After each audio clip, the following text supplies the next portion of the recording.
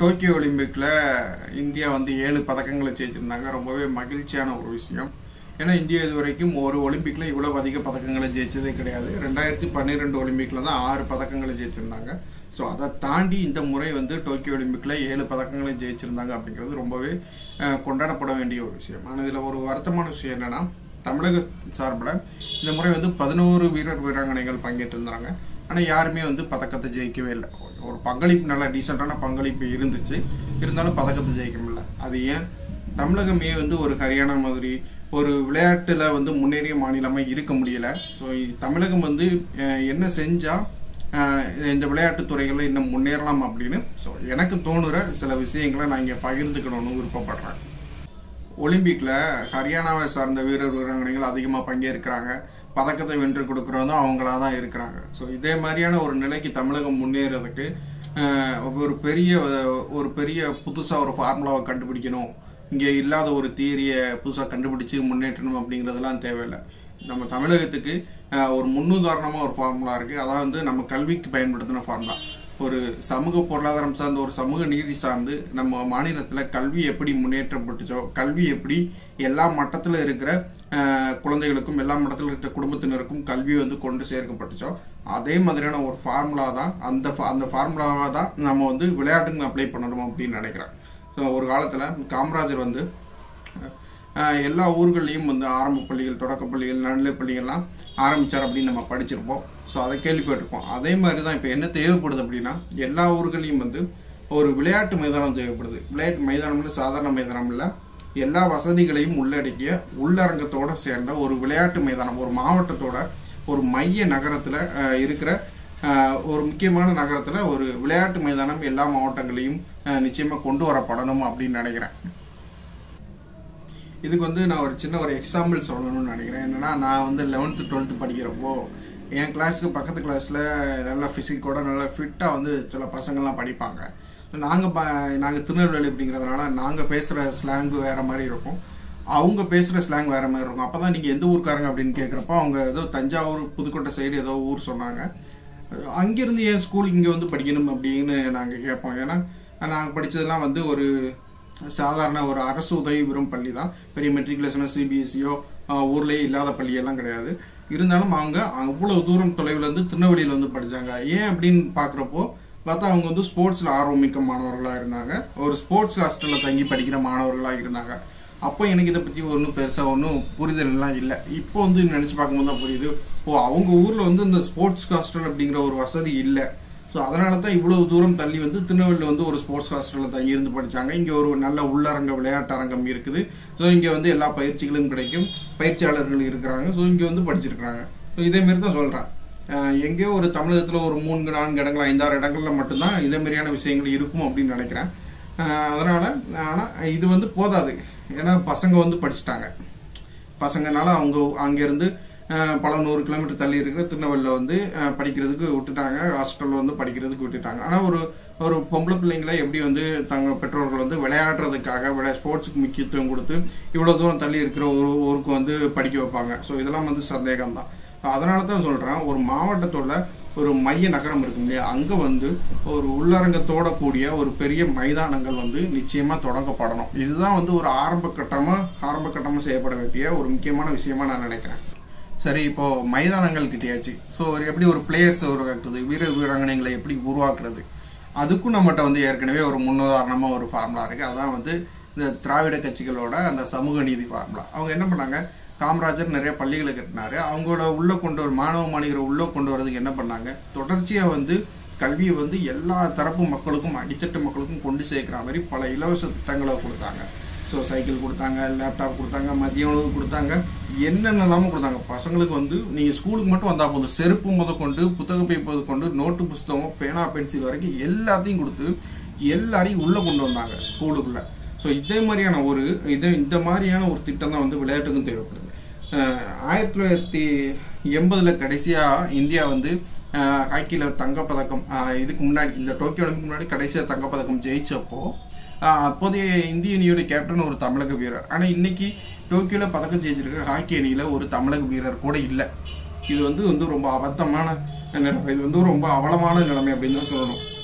ஒரு பையன் வந்து ஸ்கூலில் ஒரு ஆறாம் கிளாஸோ அஞ்சாம் கிளாஸோ படிச்சுக்கிட்டு இருக்கிறப்போ ஹாக்கி விளாட ஆசைப்படுறான் விருப்பப்படுறான் அப்படின்னா ஒரு ஹாக்கி பேட் வாங்கணும் ஒரு ஷூ வாங்கணும் அப்படிங்கிறப்போ அதுக்கே சில ஆயிரங்கள் செலவாகும்.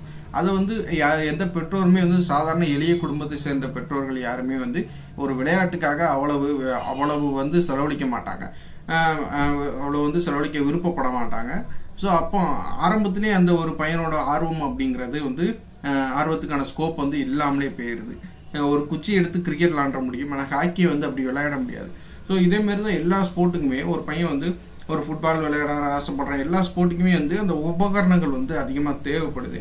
அதையெல்லாம் வந்து இதே கொடுக்க ஆரம்பிக்கணும் எப்படி நம்ம ஸ்கூலுக்கு ஒரு லேப்டாப் கொடுத்தோமோ சைக்கிள் கொடுத்தோமோ அதே மாதிரியே ஒரு பையன் வந்து ஒரு ஸ்கூலில் நான் இந்த விளையாட்டில் சேர விருப்பப்படுறேன் அப்படின்னு சொல்லப்பவே அவன் கையில் வந்து அந்த- அந்த உபகரணங்கள் கொடுக்கப்படணும் ஒரு ஹாக்கி ஸ்டிக்கையும் ஒரு ஷூவையும் அந்த பையன் நான் ஹாக்கியில் விளையாட போகிறேன் ஆர்வமாக இருக்கேன்னு பேர் கொடுக்குறான். ஒரு உடற்கல்வி ஆசிரியர் அப்படிங்கிறப்பவே அவன் கையில் ஒரு பேட்டையும் ஒரு ஷூவையும் கையில் தூக்கி கொடுத்தா அவன் எவ்வளோ ஆர்வம் வந்து விளையாடுவான். அதை யோசிச்சு பார்க்கணும். ஸோ நம்ம வந்து அந்த அதே தான் ஒரு கல்விக்கு நம்ம என்ன பண்ணோம்? அவன் எல்லாரையும் உள்ளே கொண்டு வர்றதுக்கு ஒரு சைக்கிள் கொடுத்தோம் லேப்டாப் கொடுத்தோம் ஊக்கத்தொகை கொடுத்தோம். பெண்களுக்கு வந்து உயர்கல்வி தாண்டி வர்றவங்களுக்கு ஒரு ஊக்கத்தொகை கொடுத்தோம் இல்லையா? அதே மாதிரியான விஷயங்கள் எல்லாம் தொடர்ச்சியாக பண்ணணும். வாணி தேவி வாழ்வீச்சில் டோக்கியோ ஒலிம்பிக்கில் இந்தியா சார்பில் பங்கெடுத்தாங்க. தமிழக வீராங்கனை. அவங்க வந்து நம்ம தமிழக முதல்வர் ஸ்டாலின் அவர்களை பார்த்துட்டு வந்து வெளியே பேசும்போது என்ன சொன்னாங்க அப்படின்னா எனக்கு வந்து தமிழகத்தில் தமிழக அரசு வழங்கின உதவித்தொகை வந்து ரொம்ப பயனுள்ளதாக இருந்துச்சு அப்படின்னு சொல்லியிருந்தாங்க. ரொம்ப நல்ல விஷயம். ஆனால் அந்த உதவித்தொகையில் யாருக்கு கொடுக்கப்படுது அப்படிங்கிறத கவனிக்கப்படணும். இந்திய அரசுகள் தமிழக அரசு எந்த அரசும் எந்த அரசாக இருந்தாலுமே உதவித்தொகை அப்படிங்கிறது ஒரு லெவலுக்கு மேலே வர்றவங்களுக்கு தான் கொடுக்குறாங்க. ஸோ அடியில் அந்த ஆர்வத்தில் ஒரு பையன் தன்னோட பேரை கொடுத்து தன்னை ஒரு ஒரு விளையாட்டில் ஆர்வமாக ஆரம்பிக்கிறான் இல்லையா? அந்த நிமிடத்துல இருந்தே எல்லாமே இந்த உதவித்தொகையெல்லாம் கொடுக்குறதெல்லாம் ஆரம்பிக்கணும் அப்படின்னு நினைக்கிறேன். ஏன்னா இவங்கெல்லாம் பவானி தேவி இன்னைக்கு கஷ்டப்பட்ட குடும்பத்துலேருந்து வந்தவங்க தான். ரேவதி தனலட்சுமி எல்லாருமே கஷ்டப்பட்ட குடும்பத்துலேருந்து வந்தவங்க தான். அவங்களாம் முட்டி மோதி இன்னைக்கு ஏதோ ஒரு போராடி மேலே ஒரு இடத்துக்கு வந்துட்டாங்க. இப்போ அவங்களுக்கு எல்லாரும் போய் உதவித்தொகையை கொடுக்குறோம். எல்லா உதவிகளையும் செய்கிறோம் அது நல்ல விஷயம் தான். இன்னும் மேலும் உயர்வாங்க. ஆனால் இந்த போராட்டம் இருக்குல்ல இந்த போராட்டத்தில் இவங்கள மாரியே திறமைசாலிகள் எத்தனை பேர் தோற்று போயிருப்பாங்க போராட முடியாமல் ஸோ அவங்களையும் நம்ம கை தூக்கி விடணும் இல்லையா? அவங்களுக்கு திறமை இருக்குது அவங்களையும் விட்டுறக்கூடாது இல்லையா? அப்போனா அதுக்கு எப்போ எங்கேருந்து உதவித்தொகைகள் ஊக்கத்தொகை எல்லாம் கொடுக்க ஆரம்பிக்கணும்? ஆரம்பத்துலேருந்து கொடுக்க ஆரம்பிக்கணும். ஒரு அந்த பள்ளி அளவை தாண்டி ஸ்கூல் லெவலை தாண்டி ஒருத்த ஒரு ஒரு ஸ்டூடெண்ட் எப்போ வந்து வெளியே விளையாட ஆரம்பித்து அவனை கரியராக்க ஆரம்பிக்கிறானோ அந்த நொடியிலிருந்தே அவனுக்கு வந்து ஒரு ஊக்கத்தொகை அப்படிங்கிறது கொடுக்க ஆரம்பிக்கணும். இதுக்குமே மாடல் அதுதான். ஸோ நம்ம தமிழகத்தில் வந்து பெண்களுக்கு கொடுத்து ஊக்குவிச்சோம் இல்லையா? இப்போ விளையாட்டில் இருக்கிற விளையாட விருப்பப்படுற பெண்களுக்கு ஊக்கத்தொகை கொடுப்போம் அப்படின்னு மட்டும் ஒரு திட்டம் வந்துச்சு அப்படின்னா இன்னும் வந்து நிறைய பெண்கள் வந்து குடும்பத்தை குடும்பத்தை சேர்ந்தவங்களுமே வந்து ஒரு ஒரு விருப்பத்தோட வந்து பெண்களை வந்து விளையாடுறதுக்கு அனுப்புறதுக்கு அதிகப்படியான வாய்ப்பு இருக்குது ஸோ இந்த ஊக்கத்தொகை அப்படிங்கிற விஷயத்தில் இன்னும் கொஞ்சம் வந்து ப்ராடான ஒரு திட்டம் வந்து தேவைப்படுது அப்படின்னு நினைக்கிறேன். இதே விஷயந்தான் வந்து மத்திய அரசுக்கும் மத்திய அரசு வந்து இப்போ வந்து ஒரு டாப்ஸ்னு ஒரு ஸ்கீம் ஸ்கீம் வச்சுருக்காங்க. அதாவது டார்கெட் ஒலிம்பிக் போடியம் ஸ்கீம் அப்படின்னு. அதாவது பதக்கத்தை வெல்ல வாய்ப்புள்ள வீரர் வீராங்கனைகள்னு கருதப்படுறாங்க இல்லையா? அவங்களுக்கு வந்து இன்னும் அதிகப்படியான பட்ஜெட் ஒதுக்கி அவங்களுக்கு தேவையான பயிற்சிகள் எல்லாம் வழங்கி வெளிநாட்டு பயிற்சியாளர்கள்லாம் அழைத்து வந்து பயிற்சிகள்லாம் வழங்கி அவங்கள வந்து பதக்கம் வெல்ல வைக்கிறதுக்கான ஒரு ஸ்கீம் இந்த மாதிரியான ஸ்கீம் எல்லா இந்த மாதிரியான ஸ்கீம் மத்திய அரசு நிறைய இருக்கு மாநில அரசாங்கங்கள்டையும் இருக்கு. அதான் நான் முதல்ல சொன்ன மாதிரி அந்த அடியில இருந்து வரான் இல்லையா? போராடி ஜெயிக்க போராடி போராடுற நிலமையில இருக்கான் இல்லையா? தன்னோட கரியர் கரியர் ஸ்போர்ட்ஸ் தன்னோட கரியர்னு முடிவு பண்ணி ஆனால் ஆனால் அதுக்கு வந்து, தன்னோட மிகப்பெரிய சக்தியை செலவழித்து போராட வேண்டிய நிலைமையில இருக்கான் இல்லையா? அவனுக்கு வந்து உதவித்தொகை கொடுக்கப்படணும் அப்புறம் தான் வந்து இன்னும் நிறைய பேர் வந்து நம்ம ஊக்குவிச்சு கீழே இருந்து மேலே கொண்டு வந்து நிப்பாட்ட முடியும் மூலக்காரங்களை. இப்போ நான் சொன்னேன் இல்லையா? விளையாட்டு உபகரணங்கள் இந்த காக்கி ஸ்டிக்கு ஷூ பால் இதெல்லாம் வாங்கி கொடுக்கணும் அப்படின்னு அதிகமாக எல்லா மாணவர்களும் தனிப்பட்ட முறையில் வாங்கி கொடுக்கணும். நம்ம வந்து ஸ்கூல் பேக்ஸ் எல்லாருக்கும் தான் கொடுக்குறோம். நோட் புக்ஸ் எல்லாருக்கும் தான் கொடுக்குறோம் அதேமாரி விளையாட்டில் சேர்ற எல்லா மாணவர்களுக்குமே அந்த உபகரணங்கள் வந்து தனிப்பட்ட முறையில் வாங்கி கொடுக்கணும். அப்போனா வந்து அவங்க ஆர்வமாக வருவாங்க. ஸோ ஒரு சைக்கிளுக்கும் ஒரு லேப்டாப்புக்கும் செய்கிற செலவை விட இந்த விளையாட்டு உபகரணங்கள் செய்கிற செலவு வந்து கம்மியாக தான் இருக்கும். பட் ஊக்கத்தொகையும் அப்படி தான் எல்லாரும் ஒரு ஸ்கூலில் நூறு பேர் இருக்காங்கன்னா நூறு பேர் ஏதோ ஒரு ஸ்போர்ட்டில் போய் பங்கேற்று போகிறதில்ல ஆர்வமாக இருக்கிற ஒரு இருபத்தஞ்சி முப்பது பேர் தான் வருவாங்க. அவங்களுக்கு ஒரு ஊக்கத்தொகையை கொடுத்து முன்னேற்றது அப்படிங்கிறது கல்விக்கு செலவழிக்கிறத விட விளையாட்டுக்கு வந்து கம்மியாக தான் செலவு செலவாகும். ஸோ இதெல்லாம் வந்து செய்யலாம். செய்யணும் அப்படிங்கிறது என்னோட விருப்பம். இதை தாண்டி என்ன செய்யணும் அப்படின்னு விருப்பப்படுறேன்னா ஒரு ஒரு ஸ்கூலில் இருக்கிற டீச்சர்ஸ் ஆகட்டும் காலேஜில் இருக்கிற ப்ரொஃபஸர் ஆகட்டும் எல்லாருக்குமே வந்து பெரிய நான் இப்போ தான் காலேஜ் முடிக்கிறேன் எனக்கு இருபத்தி ரெண்டு வயசு தான் ஆகுது. நான் இப்போ தான் இந்த கல்வி சூழல்களை தாண்டி வந்திருக்கேன் அப்படிங்கிறதுனால என்னால் வந்து என்ன புரிய என்ன எனக்கு எக்ஸ்பீரியன்ஸ் சொல்கிறேன் நான் பார்த்த வரைக்கும் பெரும்பாலான ஆசிரியர்கள் பேராசிரியர்களுக்கு இந்த விளையாட்டுகளை பற்றின பெரிய புரிதலே இருந்ததில்லை. ஸோ மாணவர்களுக்கே விளையா ஆசிரியர்களுக்கே வந்து விளையாட்டுகளை பற்றி புரிதல் இல்லைங்க அப்படிங்கிறப்போ நம்ம வந்து அவங்க அவங்க மூலம் மாணவர்கள் ஊக்குவிக்கப்பட்டு எப்படி மேலே வருவாங்க நம்ம எப்படி வந்து எடுத்துக்க முடியும்னு தெரியல. முதல்ல ஆசிரியர்களுக்கு வந்து இங்கே இருக்கிற விளையாட்டுகள் இந்த விளையாட்டுகளில் இருக்கிற எதிர்காலம் பற்றி ஆசிரியர்களுக்கு முதல்ல வந்து பெரிய புரிதல் உண்டாகணும். ஸோ விளையாட்டின் மூலமும் சாதிக்க முடியும் அப்படிங்கிற ஒரு புரிதலை வந்து இங்கே ஆசிரியர்களுக்கு முதல்ல உண்டாகணும். இருக்கணும் மேலும் வந்து இங்கே என்னென்ன விளையாட்டு போட்டிகள் நடக்குது என்னென்ன தொடர்கள் நடக்குது? ஏன்னா இங்கே வந்து ஒரு Commonwealth Asian game Asian Asia games இந்த மாதிரி ரெண்டு மூணு போட்டிகள் மட்டும் நடைபெறது இல்லை இங்கே வந்து ஒரு வருடம் முழுக்க வந்து பல போட்டிகள் நடைபெற்று இருக்கு ஒரு வீரர் வீராங்கனை வந்து விளையாட முடிவு எடுத்தாங்கன்னா ஓய்வெடுக்க முடியாத அளவுக்கு அங்கே இங்கே வந்து பல போட்டிகள் நடைபெற்று இருக்கு இதை பற்றியான புரிதல்லாம் முதல்ல வந்து ஆசிரியர்களுக்கும் பேராசிரியர்களுக்கும் ஏற்படுத்தணும். அது அப்பனா தான் அவங்க அவங்க மூலமா வந்து மாணவர்கள் வந்து ஊக்குவிக்கப்பட முடியும் பயிற்சியாளர்கள் இந்த பயிற்சி சார்ந்த விஷயங்கள். ஹரியானாவில் வந்து சுசில் குமார் வந்து ரெண்டு தடவை ஒலிம்பிக் பதக்கத்தை ஜெயிச்சோன்னா அவருக்கு வந்து ஏக்கர் கணக்கில் நிலம் கொடுத்து பயிற்சி மையம் அமைக்கிறதுக்கு எல்லா உதவிகளையும் பண்ணி கொடுத்தாங்க ஹரியானா கவர்மெண்ட் ஸோ தமிழகம் வந்து அதே மாதிரியான விஷயங்களை முன்னெடுக்கணும். இந்த விளையாட்டின் மீது ஆர்வம் இருக்கிறவங்க முன்னாள் வீரர்கள் பெரிய பயிற்சியாளர்கள் முழு ஆர்வத்தோட உள்ளன்போட விளையாட்டை அணுகிறவங்க அவங்களையெல்லாம் ஒன்றிணைத்து அவங்களுக்கு தேவையான உதவிகளை செஞ்சு கொடுக்கணும். ஒரு பயிற்சி மையம் அமைக்கிறதுக்கு தேவையான உதவிகள் உபகரணங்கள் தே- வாங்குறதுக்கு தேவையான உதவிகள் இதே மாதிரி நிறைய உதவிகள் செஞ்சு கொடுக்கணும். ஏன்னா அவங்க மூலமாக தான் வந்து பல வீரர்கள் வீராங்கனைகள் அடையாளம் காணப்படுவாங்க. அதனால் அவங்களுக்கு தேவையான உதவிகள் முதல்ல செய்து கொடுக்கப்படணும். நான் முதல்லயே சொன்னது தான் இது வந்து எந்த விதத்துலேயும் வந்து தமிழகத்துக்கு புதுசான ஒரு மாடல் இல்லை. ஏற்கனவே உள்ள மாடல் தான். கல்வியில் நம்ம என்ன பண்ணியிருந்தோம்? ஸ்கூல் கட்டியிருந்தோம். இலவசங்கள் கொடுத்தோம். ஊக்கத்தொகை கொடுத்தோம். அதே மாதிரியான விஷயங்களை அப்படியே விளையாட்டுக்கு பண்ணணும் மைதானங்கள் கட்டணும். விளையாட்டு உபகரணங்களை எல்லா மாணவர்களுக்கும் இலவசமாக கொடுக்கணும். அதுக்கப்புறம் வந்து ஊக்கத்தொகைகள் அளிக்கப்படணும். பயிற்சியாளர்களுக்கு தேவையான உதவிகள் செய்யப்படணும். ஆசிரியர்களுக்கு விழிப்புணர்வு ஏற்படுத்தணும். இதெல்லாம் நம்ம கல்வியில் என்ன பண்ணணும் அதே எப்படி விளையாட்டுக்கு அப்ளை பண்ணணும்? இதுதான் வந்து நான் நான் இதுதான் வந்து நம்ம வந்து என்ன செஞ்சோம் அப்படின்னா கல்வியில் எப்படி நம்ம வந்து ஒரு நீண்ட கால அடிப்படையில் மிகப்பெரிய அளவில் வளர்ந்துருக்கிறோம் தமிழகம். இன்னைக்கு வந்து இந்தியா இந்திய அளவில் பார்த்தோம்னா இந்திய அளவில் இருக்கிற உயர்கல்வி தரத்தை விட உயர்கல்வி தரமும் வளர்ச்சியும் வந்து அதிகம். ஸோ அதே மாதிரியான ஒரு வளர்ச்சிக்கு வந்து அஹ், நாம வந்து விளையாட்டுக்கு வந்து இதே ஃபார்முலா வந்து அங்கே அப்ளை பண்ணி ஆக்கணும் இனிமேல் பேசுறது வந்து கொஞ்சம் சினிமேட்டிக்காக தெரியலாம். பட் அதெல்லாம் வந்து நடந்தால் நல்லா தான் இருக்கும் தமிழகத்தில் வந்து இந்த மாற்றுத்திறனாளிகள் முன்னேற்றத்திற்கான அந்த வளர்ச்சி துறையை வந்து முதல்வர்கள் தன்னோட கட்டுப்பாட்டில் வச்சிருந்ததை வந்து மிகப்பெரிய அளவில் எல்லாராலையும் பாராட்டப்பட்டுச்சு இல்லையா? அதே மாதிரி ஒரு விளையாட்டு துறையும் வந்து முதல்வர்கள் தன்னோட நேரடி கட்டுப்பாட்டுக்குள்ள வச்சுருந்தாருன்னா அது எவ்வளவு கவனம் பெறும்? அது எவ்வளவு ஆக்டிவாக செயல்படும் அந்த துறை அப்படிங்கிறத நினச்சி பார்க்கணும். ஸோ இது வந்து நடக்கிறதுக்கெலாம் சாத்தியம் இருக்கான்னு தெரியல. பட் நடந்தால் நல்லா இருக்கும் அப்படிங்கிறது தான் என்னோட விருப்பம். முதல்வர் அவர்களுக்கு கீழே விளையாட்டுத்துறை இருக்கும்போது அதுக்கு இது வரைக்கும் கிடைக்காத கவனம் அது அந்த துறைக்கு கிடைக்கும். வெறுமனே ஏதோ பொழுதுபோக்கு துறை மாதிரி அதை பார்க்காம ஒரு சீரியஸான ஒரு கவனம் ஒரு முனைப்பு வந்து அந்த துறையில் காட்டப்படும் அப்படின்னு நம்புகிறேன் அதுக்கப்புறம் இன்னொன்று என்னென்னா நான் முதல்லயே சொன்னேன் இங்கே வந்து காமன்வெல்த் போட்டிகள் ஏசியன் சாம்பியன்ஷிப் ஏசியன் கேம்ஸ் இது மட்டும் நடக்கிறது இல்லை இதெல்லாம் வந்து ஒரு பெரிய தொடர்கள் அவ்வளோதான் இதோட ஆனால் வருஷம் முழுக்க வந்து இங்கே தொடர்கள் பெரிய பெரிய தொடர்கள் உலகம் எங்கிலும் நடந்துக்கிட்டே இருக்கு. நம்ம கவனிக்கிறது இந்த பெரிய தொடர்களுக்கு போகிற வீரர்கள் வீராங்கனைகளை மட்டும்தான் கவனிக்கிறோம். ஆனால் அப்படி இல்லை உலகம் முழுக்க பல வேர்ல்டு கப்ஸ் வேர்ல்டு சாம்பியன்ஷிப்ஸ்னு எல்லா தனி ஒவ்வொரு ஸ்போர்ட்டுக்கும் தனித்தனியாக வந்து உல உலகம் முழுக்க ஒவ்வொரு நாளுமே நடைபெற்றுட்டு இருக்குது அதுக்கெல்லாம் வந்து ஒவ்வொரு முறையும் வீரர் வீராங்கனைகள் போயிட்டு வர வெளிநாடுகளுக்கு போயிட்டு வர்றதுக்கு வந்து பல லட்சங்கள் செலவாகலாம். போக்குவரத்துக்கே அவ்வளோ செலவுகள் ஆகும். ஸோ அதெல்லாம் வந்து வீரர் நம்மளோட வீரர் வீராங்கனைகள் செலவழிக்கிறதுக்கு வந்து ரொம்ப கஷ்டப்பட்டுட்டு இருக்கிறாங்க இன்றைக்கும் நம்ம செய்திகளில் பார்க்குறோம் நாங்கள் அந்த நாட்டுக்கு போய் விளையாடுறோம். இந்த நாட்டுக்கு போய் விளையாடணும். எங்களுக்கு இவ்வளோ செலவு தே- இவ்வளோ தொகை தேவைப்படுது அப்படின்னு சொல்லி உதவி கேட்டு கலெக்டர் ஆஃபீஸில் மனு எழுதி கொடுத்துட்டு வெளியேறினு பேட்டி கொடுத்துக்கிட்டு இருப்பாங்க. காத்துக்கிட்டு இருப்பாங்க அது சாங்ஷன் ஆகி எப்போ வரும் அப்படின்னு.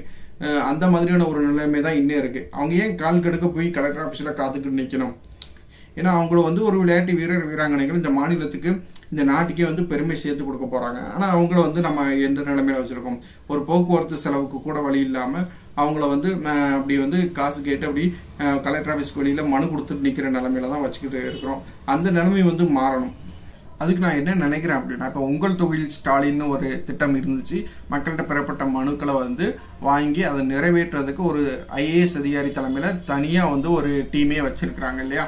ஸோ அதே மாதிரி ஒரு டீம் வந்து விளையாட்டு வீரர் வீராங்கனைகளோட புகார்களை வாங்கி அவங்களுக்கு தேவையான உதவிகளை மனுக்களை வாங்கி அதை நிறைவேற்றி கொடுக்கறதுக்கு ஒரு ஐஏஎஸ் அதிகாரி தலைமையில் ஒரு குழு இருந்தால் எப்படி இருக்கும் அப்படிங்கிறது எனக்கு தோணுச்சு. இருந்தால் நல்லா இருக்குமே.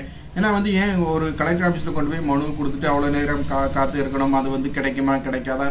ஏன்னா சில உதவித்தொகைகள்லாம் வந்து இந்த குறிப்பிட்ட போட்டிகளுக்கு மட்டும்தான் இந்த குறிப்பிட்ட போட்டிகளுக்கு மட்டும்தான் இருக்கும். சில போட்டிகளுக்கு வந்து உதவித்தொகைகளே இருக்காது. அந்த மாதிரி ஏன் அந்த மாதிரி ஏன் கலெக்டர் ஆஃபீஸில் போய் காத்து கிடந்து மன உளைச்சலுக்குள்ளாகணும். ஸோ ஒரு கலெக்டர் ஒரு ஒரு ஐஏஎஸ் அதிகாரி தலைமையில் ஒரு தனி கமிட்டி இருந்த தனி டீம் இருந்தால் ஸோ அவங்களுக்கு இணையம் மூலமாக வந்து ஒரு ஒரு வீரர் வீராங்கனை வந்து ஒரு கிளிக் மூலமாகவே தங்களோட புகார்களை தங்களோட தேவைகளை வந்து தெரியப்படுத்த முடியும். ஸோ அதன் மூலம் வந்து நிறைவேற்றி அது அந்த உதவிகள் வந்து சீக்கிரமாக நிறைவேறதுக்கு வாய்ப்பு இருக்குது மேலும் அதிகாரத்தை சேர்ந்தவங்கள்ட்ட வந்து நேரடியாக வந்து போய் சேர போய் சேர வாய்ப்பு இருக்குது அவங்க வந்து சீக்கிரமாக அந்த அந்த வந்து அந்த விண்ணப்பங்கள் வந்து போய் சேருது இல்லையா? ஸோ இந்த மாதிரி ஒரு விஷயம் நடக்கணும். இன்னும் மனு எழுதி கொடுத்துட்டே இல்லாமல் ஒரு கம்பி ஒரு கம்ப்யூட்டரைஸ்டாக ஒரு ஒரு ஐஏஎஸ் அதிகாரி தலைமையில் ஒரு குழு வந்து இதற்காக செயல்படணும் அப்படின்னு நினைக்கிறேன். இங்கிலாந்து டூர் இருக்கேன் நான் எப்படி இங்கிலாந்துக்கு போக முடியும்? ஃப்ளைட் இவ்வளோ செலவாகும் விசா கிடைக்குமா? கிடைக்காதுன்னு ஒரு கிரிக்கெட்டருக்கு அவ்வளோ தொல்லைகள் அவ்வளோ வந்து அவ்வளோ வந்து உளைச்சல்கள் இருக்கிறது இல்லை. மற்ற விளையாட்டு வீரர் வீராங்கனைகளுக்கும் அந்த- அந்த மாதிரியான அழுத்தங்கள் உளைச்சல்கள் ஏன் இருக்கணும்? ஸோ ஒரு விளையாட்டு வீரர் வீராங்கனை அப்படிங்கிறவங்க தன்னோட விளையாட்டில் மட்டும்தான் முழுமையாக கவனம் செலுத்தணும். அது சார்ந்த அழுத்தங்கள் தான் அவங்களுக்கு இருக்குமே தவிர இந்த புற அழுத்தங்கள் நான் எப்படி அந்த வெளிநாட்டுக்கு போக போகிறோம் விசா கிடைக்குமா? இல்லை நமக்கு உதவி பண்ணுறோன்னு சொன்ன அவங்க பண்ணுவாங்களா? அரசு உதவி பண்ணுமா?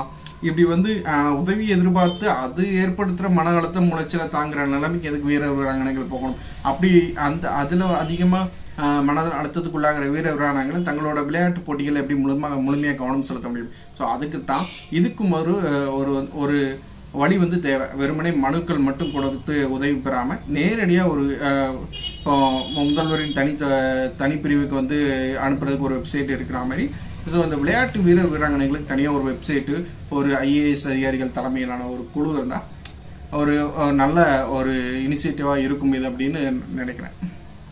கொரோனா பெருந்தொற்றுக்கு பிறகு பொருளாதாரத்தில் இருந்து பொருளாதார மீட்புக்காக முதல்வர் வந்து ஒரு குழு அமைச்சிருந்தாங்க. ஐந்து பொருளாதார வல்லுநர்கள்லாம் அதில் இடம்பெற்றிருந்தாங்க. இதேமாரி விளையாட்டுக்கு ஏன் ஒரு குழு அமைக்கக்கூடாது? ஸோ நம்ம தமிழகத்தில் விளையாட்டு மு- விளையாட்டுகளை முன்னேற்றுவதற்கு என்ன மாதிரியான திட்டங்களை முன்னெடுக்கலாம்? என்ன மாதிரியான விஷயங்கள் செய்யலாம்? அப்படிங்கிறத பரிந்துரைக்கிறதுக்கு முன்னாள் வீரர்கள் இல்லை பத்திரிகையாளர்கள் பயிற்சியாளர்கள் இவங்களெல்லாம் ஒன்றிணைத்து ஒரு குழு ஏன் அமைக்கக்கூடாது? அமைச்சா அது நல்லா தானே நல்லா தானே இருக்கும். அவங்க கொடுக்குற பரிந்துரைகள் மூலம் வந்து நல்ல விஷயங்கள் நடக்கும் இல்லையா? ஸோ அதே மாதிரி ஒரு குழு அமைக்கப்பட்டாலும் இன்னும் சிறப்பாக இருக்கும் அப்படின்னு நினைக்கிறேன்.